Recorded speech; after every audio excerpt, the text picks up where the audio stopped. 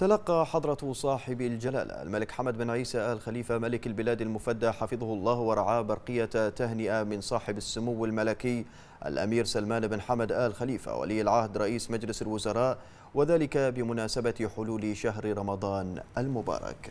ورفع سموه إلى مقام جلالته الكريم أسمى آيات التهاني والتبريكات بهذه المناسبة المباركة. داعيا الله سبحانه وتعالى في هذا الشهر الفضيل أن يحفظ جلالة الملك المفدى ويحقق رؤى جلالته لهذا الوطن ولأبنائه الكرام بالمزيد من الرفعة والتقدم. وأن يعيد هذه المناسبة الكريمة على مملكة البحرين والأمتين العربية والإسلامية بالخير واليمن والبركات.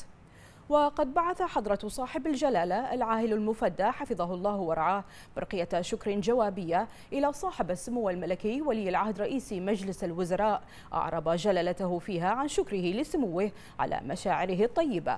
سائلا الله في هذا الشهر الكريم أن يحفظ سموه ويرعاه وأن يعيد هذه المناسبة الكريمة بالخير واليمن والبركات على مملكة البحرين العزيزة والأمتين العربية والإسلامية.